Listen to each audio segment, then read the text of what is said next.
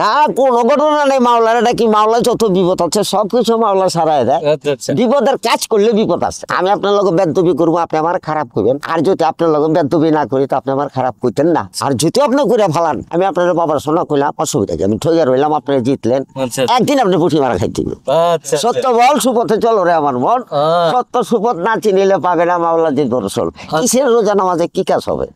মানুষের ঠগায় চালাকি করে বজ্জাতি করে সব তারে না রে বাবা আমরা করি এখন বাদ পাই এই কাকা, এইটার মধ্যে কয়েল দিয়া জ্বালায় গোঠল করে জ্বালায় দেবো আমাদের হিসেবে জন্মের পর থেকেই এই কাজ করা এই নদীতে মাছ টাছ ধরা। এখানে এই ফুলামুড়া ঘাটে আসছি আজকে প্রায় এক মাস হলো। এর আগে আমাদের বাড়ি শীতলক্ষা নদীর পাড়ে ওখানে ছিলাম ওখানে মাছ টাছ ধরছি। এখানে সবসময় না এই যেখানে এক মাস আছি আবার দেখা গেছে মাছ ধরাকালীন দেখা গেছে ওই ওয়াশপুর গাতুলি মিরপুরে ওখানে যখন যেখানে হয় সেভাবেই মাছ টাছ ধরি ওখানেই ধরি ওখানেই থাকি। এইভাবে ধরতে ধরতে যেমন সারা বর্ষা অগ্রাণ মাসের কাছাকাছি আসলে তখন আর নদীতে মাছ থাকে না তখন আমরা বাড়িতে চলে যাই। নৌকা থাকতে অসুবিধা বলতে কি, এখন আমাদের মানায় গেছে, কোনো অসুবিধা হয় না, তবে একটু বৃষ্টি আসলে দেখা গেছে রোদ্র চাইপে বসতে হয়, অল্প জায়গার মধ্যে বৃষ্টি আলে ইসলে আসে ভিজে। আর যেহেতু জীবিকা এই কাজ করি, মাছ টাছ ধরি, এখন নৌকাতে থাকাটাই স্বাভাবিক। আবার স্থায়ী ভাবে যদি এখা- এখানে বাসা হইতো স্থায়ী ভাবে এখান থেকে ধরতে পারতাম তাহলে হয়তো এদিক ওদিক যাওয়া লাগতো না। আরামে এসে চলা যেত ভালো মাছ টাছ পাই তাহলে আটির বাজার, তারপর রায় বাজার ওদিকে বাজার মাছ নিয়ে বিক্রি করে চলে যাই, ওখানে নিয়ে পাইকারি বেশি আসি। মাঝে মধ্যে নিজের মাছ টাছ পছন্দ হইলে নিজের মাছ টাছও খাই।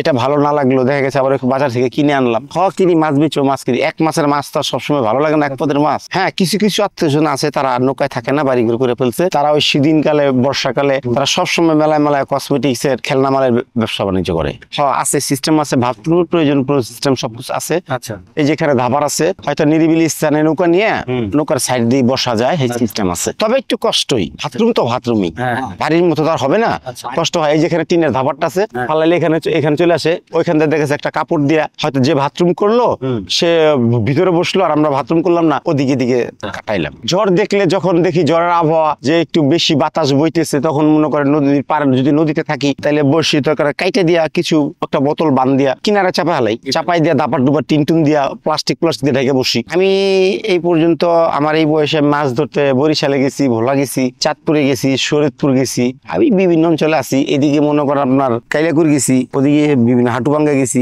বিভিন্ন অঞ্চলে গিয়ে মাছ ধরছি অনেক অঞ্চলে এগুলা এই মাছগুলা ধরি দেখেন এই যে বর্ষিগুলা দেখতেছেন আদার লাগাইতেছি এই আদার লাগানো শেষ হইলে এই সব আবার সুন্দর করে পানি দিব পানি দিয়ে আবার যে কোনো এক সাইডের থেকে ফালাইতে ফালাইতে ফালাইতে যেমন খোলাগুড়া ঘাটের থেকে সব ফালান শুরু করলাম একটা খাকাইল ঘাট চলে গেল কিংবা বরিশুল ঘাট চলে গেল এভাবে সিরিয়ালে ফালাই এসে ফালানোর শেষে দেখা গেছে সকাল আজানের সময় উঠা আবার ওইখান থেকে উঠাতে উঠাতে এই- এই মাথায় এসে পড়ি এগুলা দিছিল মাটির আদার কেউছা এই মাছ টাছ ধরি আমরাও খাই আচ্ছা। আবার বাসায় বাচ্চা কাচ্চা আছে এদেরকে ওদেরকেও ক- টাকা পাঠাই ওরাও খায়। অনেক বই হয় কাছের চাপে কত সময় নৌকা দুন ডুবে জায়গা এরকম অনেক হয়।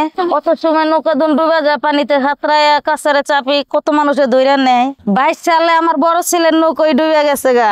তুফান ছিল নদীতে মাছ মারতে গেছে। আমার এই দুইটা নাতি না ছিল সাথে হেসে নদীতে তুফানে নৌকা ডুবে গেছে গা। হেরা পানিতে তুফান কাটাইছে। হেসে এক- লোকে আইয়া হাগো ধইরা নৌকা হাগো চাপাইছে নদীর থেকে উঠাইয়া বহুত সারাদিন পরে সন্ধ্যাবেলা হেসে নদীর থেকে আইছে।